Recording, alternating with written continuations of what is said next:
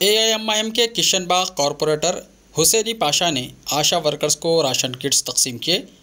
आइए सुनते हैं इसकी मज़ीद तफसीत कॉरपोरेटर हुसैनी पाशा की ज़ुबानी।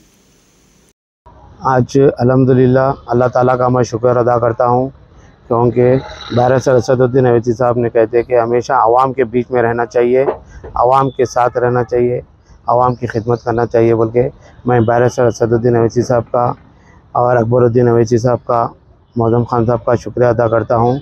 जिस तरीके से आज आशा वर्कर्स को और बी एल को बुलाकर किशनबाग डिवीज़न में अनाज दिया गया है, मैं मेरे इब्तदाई सदर मतमुद्दीन हार्ड वर्कर्स मंजलिस मुस्लिम का सबका शुक्रिया अदा करता हूँ। क्योंकि आशा वर्कर्स ऐसे है कि साल के 12 महीने आवाम के बीच में रहकर, डोर टू डोर जाकर उन लोग आवाम की खिदमत करते हैं। जैसा कि किसी के घर में प्रेगनेंट औरत है तो उनके लिए दवाओं का गवर्नमेंट से जो इंतज़ाम करना है, जो उनको डेट्स देना है, उसके बारे में भी आशा वर्कर्स जाके डोर टू डोर मिल फिर के करते हैं। और जो सीनियर सिटीज़न है, जैसा कि बीपी है, शुगर्स है, वैसे भी लोगों को आशा वर्कर अपनी खिदमत अंजाम देते हैं। तो इसलिए बैरिस्टर असदुद्दीन अवैसी साहब ने ख़ास तौर पे एक प्रोग्राम बनाने लगाए थे किशनबाग डिवीज़न में।